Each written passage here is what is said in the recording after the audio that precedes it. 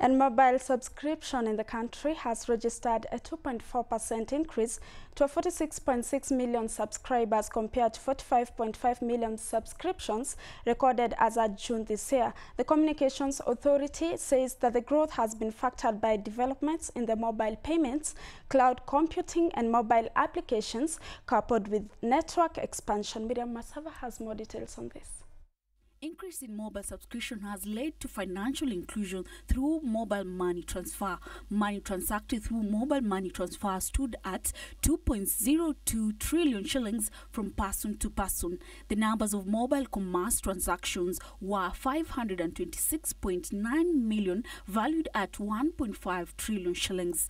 As at September this year, the number of active mobile money transfer agents stood at 218,495 while mobile money subscriptions stood at 29.7 million, meaning that 64% of the population had access to and used mobile money transfer services. Increase in mobile penetration that surpassed 100% mark is factored by most users owning more than one SIM card, either from the same or different service providers. From July to September, total traffic on mobile network rose 2.8% to stand at 14.34 billion minutes. On-net and off-net mobile voice traffic was registered at 12.6 billion minutes and 1.6 billion minutes respectively. The expiry of Safaricom Tunukiwa gifting promotion saw the total mobile voice traffic originating from Safaricom PLC network drop by 2.4% to record 8.9 billion minutes from 9.1 billion minutes reported last quarter. Introduction of VUCA to tariff by Airtel Networks Limited saw an increase of 13.8% in local mobile voice traffic during the period under review to post 4.7 billion minutes from 4.2 billion minutes recorded during the preceding quarter. Telecom Kenya Limited registered a total of 619.3 million minutes, marking a growth of 15.6% when compared to 535.5 million minutes reported in the preceding quarter. Miriam Asava, Y254 Business. And Nandi Hills MP Alfred Keter's fraud case has finally been pushed to 31st January 2019. This comes after there was a realization on lack of supporting documents, resulting to the postponement declaration made by Milimani Chief Magistrate Francis Andayi. Alfred Keter was charged alongside two co-directors of Desai Industries, Madat Chatur and Arthur Sakwa, who he was nabbed with in July 2018 after allegedly presenting a set of forged treasury bills which were purportedly issued by the Central Bank of Kenya some years ago. According to Daniel Karuri, Senior Assistant Director of Public Prosecutions, the bills were misplaced at the office upon movements of things from one point to another. This is a second account after the three were released on 2 million cash bail after accusation of attempted theft early this year.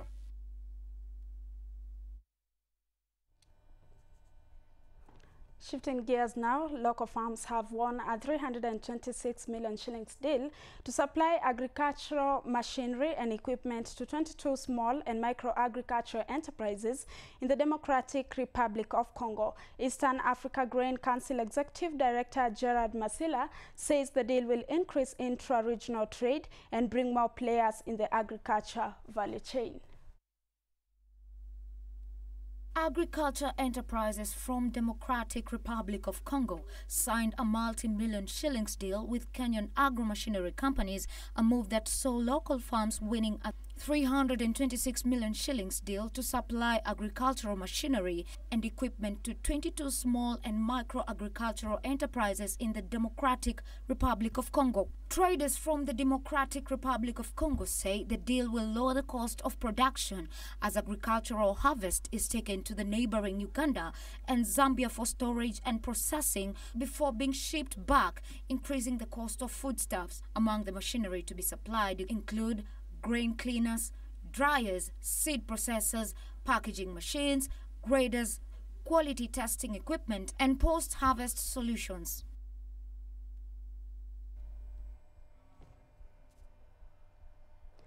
Moving on, farmers are now assured of receiving 3,000 shillings per 90 kilogram bag of maize from the government.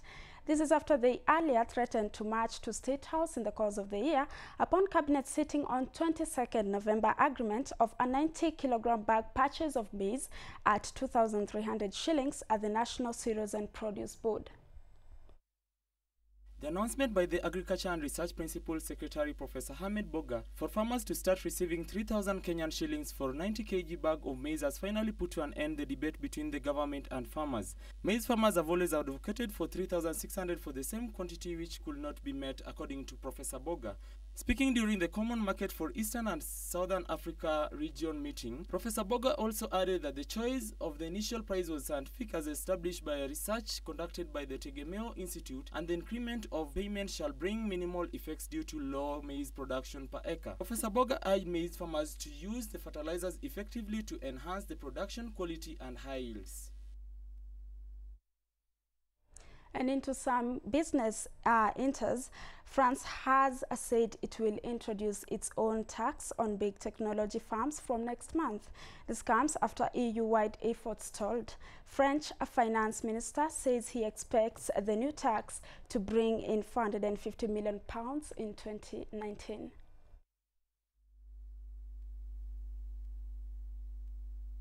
Earlier this year, the European Commission published proposals for a 3% tax on the revenues of large internet companies with global revenues above 675 million pounds a year and taxable EU revenue above 50 million euros. The move would affect companies such as Google, Apple, Facebook and Amazon. The UK also plans to introduce a digital service tax from April 2020.